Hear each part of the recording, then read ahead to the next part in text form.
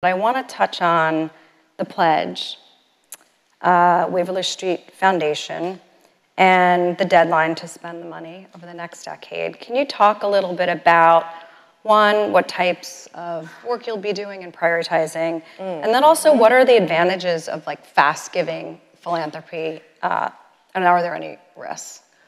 Yes, so, um, so a few years ago, we, we stood up what's called the Waverley Street Foundation as a foundation, a spend down fund, and it's exclusively focused on climate giving. Um, so environmental and climate resiliency, uh, mitigation and adaptation. And it's run, it, so it's a, it's a standalone foundation. It's separate from Emerson Collective. It's run by um, a man named Jared Blumenfeld, who was the architect of all the California policies. He actually, all the, the California environmental policies that have passed over the last several years, he was um, the, the lead climate uh, architect with Gavin Newsom. And he also worked at the EPA when Lisa Jackson ran the EPA, so she knew him really well. And he ran the western states for the EPA uh, and tribal nations as well. And so Lisa, who was just here on the stage, is our board chair, and I am the vice chair, and we have a small, tight board.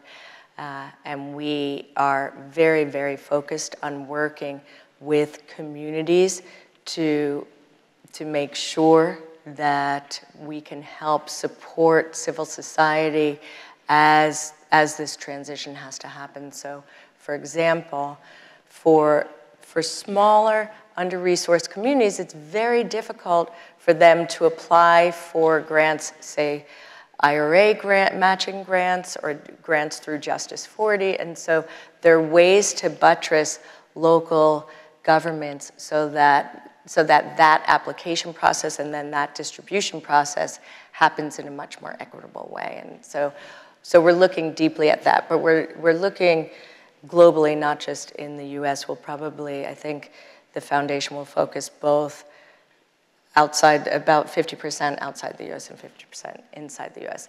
The whole purpose of that foundation is to address the, the pressing nature of, of the climate crisis between now and early 2030s, and that's why we, we structured it as a spend down fund. Um, most foundations are not structured to spend down their, their funds over a given period of, of time. Uh, we were inspired by the Atlantic Philanthropies, which very famously did that and actually spent down their entire corpus. Uh, I think that there are, there are generational issues that some foundations address, like the Ford Foundation. Uh, I know them a, a, little bit because I'm, on the, I'm new to their board, but I'm on their board, and I understand how they feel that, that the passing of the baton happens from generation to generation, and you work for a long time on a problem that needs, in a, in a way like an ocean liner, needs to pivot and turn slowly but surely. Then to me, they're, they're problems that need to be addressed sort of like a speedboat. And we're in the middle of, of this window of opportunity that will be closed in a decade. And so that's why we thought this, there's no need for us to spend 5% a year when the actual issue is right in front of us right now. We need action right now. Yeah. We don't have a lot of and, time. And there will be mistakes. Be up, there so. will be mistakes. I think that philanthropic capital should often be viewed as at-risk capital because it, we can de-risk ideas and then others can take it to scale. Either, either government, state, local, federal governments can take it to scale or companies can take it to scale. But to get that early capital in, I, I think changes the game. Well, thank you. Thank you for all that you do. Thank you for telling us your story today, coming to New Pleasure. York, and congratulations again. Uh, thanks. Thanks, Jess.